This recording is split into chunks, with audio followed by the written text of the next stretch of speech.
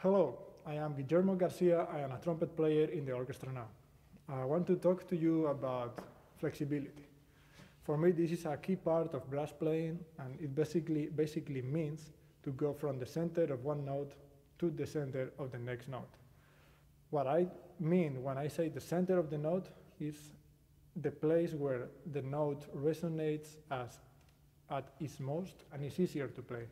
So we, if we're going to play from one G to one C, we don't want to go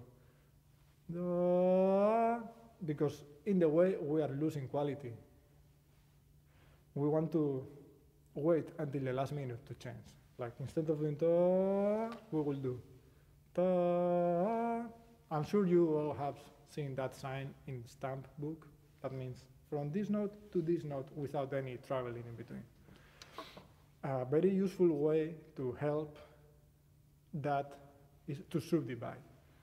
To really wait until the very last note in your head, the subdivision. So you are like staying in the center of the note, resonating and having the most harmonics, and then switch straight up to the next one. I'm gonna play both ways and see if you can hear a difference.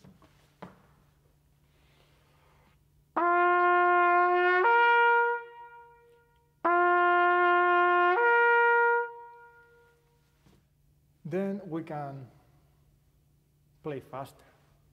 There is a number of books with a lot of exercises on them, just to name a few. Colin's, Irons, Arban, Stamp, Bai Lin, there's many. You can make your own exercises.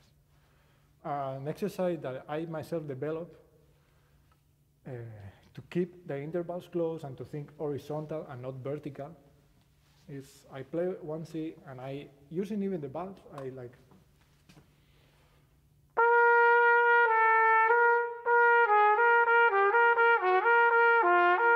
So I try to make do, do, do, as similar to do, yo, as I can. So there is this sense of uh, horizontal, horizontality. And then something that when I feel that my air is not moving fast enough, I like to do some fast flexibilities, just to, because when I play fast flexibilities, if the air is not going fast, they, it just doesn't sound. So I'm gonna try to demonstrate that for you.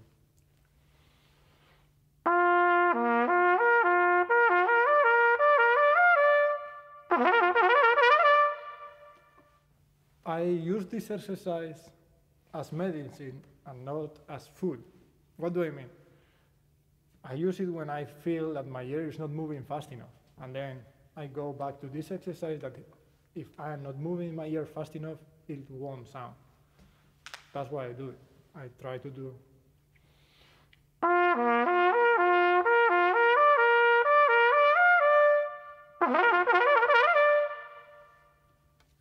And that helps my ear to move. I encourage you to have fun, to experiment, to try your own exercises. And what it is important is the concept, and the idea, and why we practice for. What are we looking for? So have fun.